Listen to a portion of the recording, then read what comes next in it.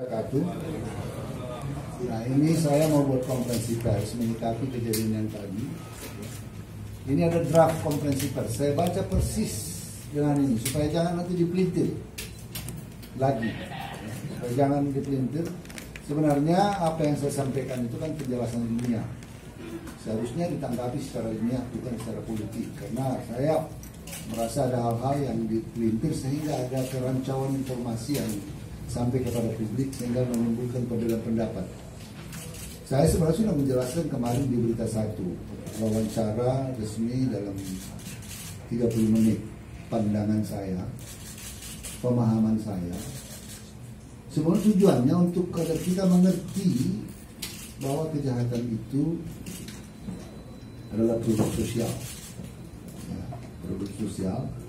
Maka karena dia produk sosial, maka kita sebagai masyarakat harus ikut serta semuanya memperbaiki kondisi-kondisi sosial yang mengenerate root causes of crime.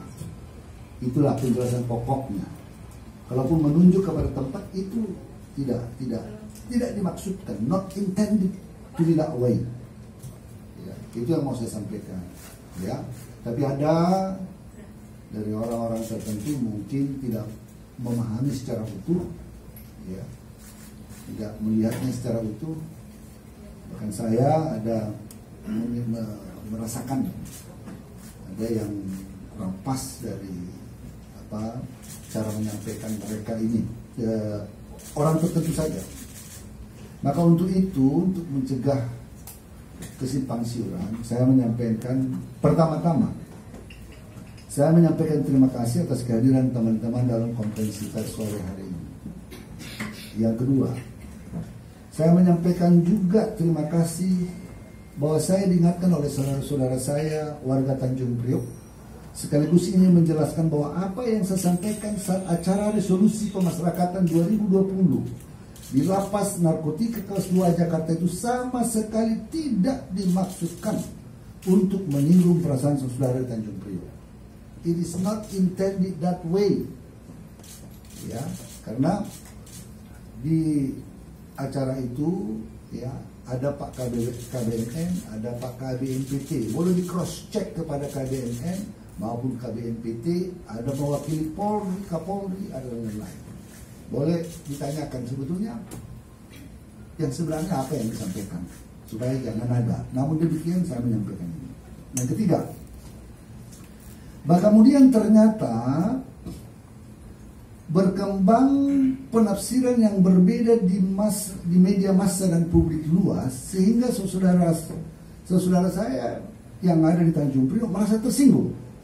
Maka saya menyampaikan permohonan maaf. Ya. Akan tetapi sekali lagi saya ingin sampaikan saya sedikit pun tidak mempunyai maksud seperti itu. Ya, ini supaya tegas.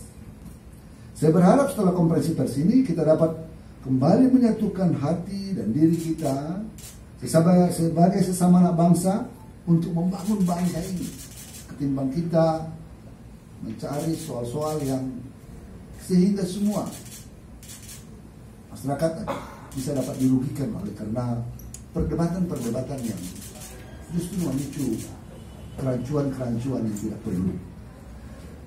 Mudah-mudahan saya akan mencari waktu yang pas untuk nanti bisa dapat bertemu dengan tokoh-tokoh masyarakat di Tanjung Priok. Ya, itu yang disampaikan. Wassalamualaikum warahmatullahi wabarakatuh. Terima kasih. Ya. Nanti didapat. Ini udah mau apa? Udah mau satu aja.